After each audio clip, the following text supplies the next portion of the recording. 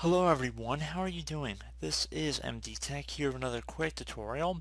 In today's tutorial I'm going to show you guys how to hopefully resolve if you're getting a Windows error when you're trying to install the operating system where it says that it could not configure one or more system components. To install Windows, restart the computer and then restart the installation. So if you're getting this error message, I'm going to show you guys how to hopefully resolve it without too much of a hassle. And we're going to jump into it by opening up the Start menu. Just left click on the Start button one time. Type in File Explorer. So best match should say File Explorer. Just left click on that one time.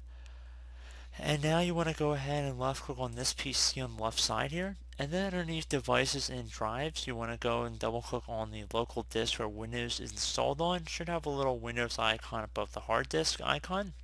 Just double click on that one time. And once you are inside of the local disk, you want to go left click on the View tab. And then where it says Hidden Items, you want to check mark inside this box. Now double click on the newly visible program data folder. So double click on that.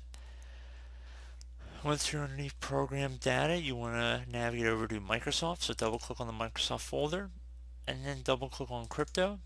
Then do the same for RSA.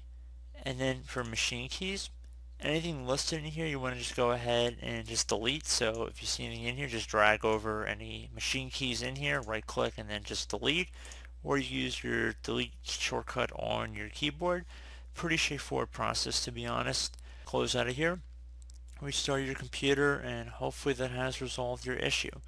So as always, thank you for watching. I do hope I was able to help you out, and I do look forward to catching you all in the next tutorial. Goodbye.